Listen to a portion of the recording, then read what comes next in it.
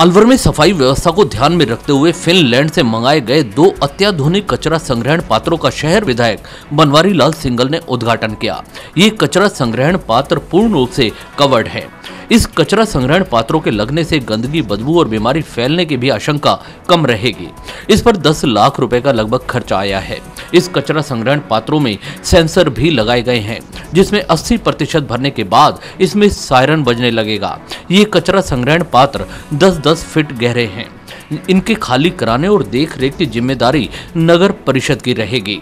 इस मौके पर शहर विधायक ने शहर में अन्य विकास कार्यों के बारे में भी बताया।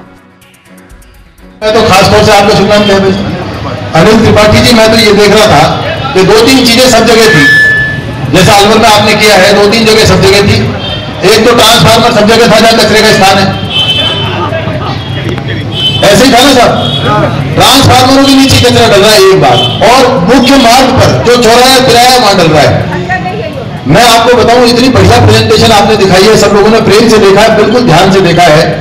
और ये जो, ये चौक है, इसमें से मैं आपसे कहना चाहता हूँ, त्रिपाठी जी, यहाँ से मात्र चार पाँच घर आगे मेरे जन्म हुआ था। और मैंने तो जन्म होने के बाद से जब मैं आठवीं क्लास में पढ़ता था, तब यहाँ से गया था, चौदह साल का। अब चौवन साल का हो गया, चालीस साल में भी वैसी की वैसी व्यवस्था है जैसी उस दिन छोड़ के गए थे, वैसी की वैसी आज लेकिन आज आपने इसको बदलने का काम किया है, और मैं आपको ये बात बता रहा हूँ कि जब आदमी जहाँ जिस गाँव में पैदा होता है, आदमी अमेरिका चला जाता है ना, अब ये त्रिपाठी जी कहाँ कहाँ चले गए? दुनिया के हिस्सों में डोले आए और फिर वापिस आ गए ना।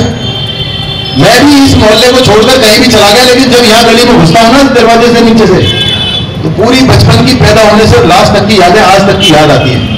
वो हमारा हमारे उनके साथ सभापति अशोक खन्ना शहर अध्यक्ष अशोक गुप्ता पार्षद सीताराम चौधरी और मंडल अध्यक्ष के के मदान सहित काफ़ी संख्या में भाजपा कार्यकर्ता और स्थानीय वासी मौजूद रहे।